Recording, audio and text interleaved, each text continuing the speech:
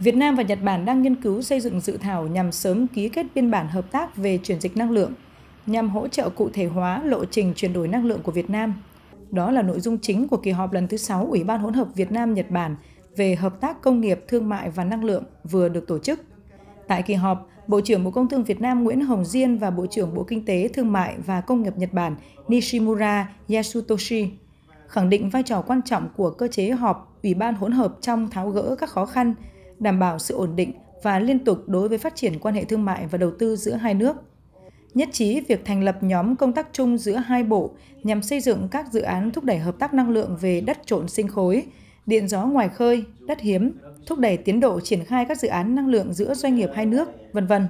Thực hiện những vấn đề đã thỏa thuận, hai bộ trưởng đã chứng kiến lễ trao bản thỏa thuận hợp tác giữa các doanh nghiệp Việt Nam và Nhật Bản, bao gồm biên bản ghi nhớ MOU về hợp tác chiến lược cung cấp giải pháp thúc đẩy chuyển đổi số cho khách hàng là doanh nghiệp và hợp tác xây dựng các chương trình ứng dụng vào phát triển nguồn nhân lực và phần mềm chuyên dụng đáp ứng chuyển đổi số trong lĩnh vực xây dựng.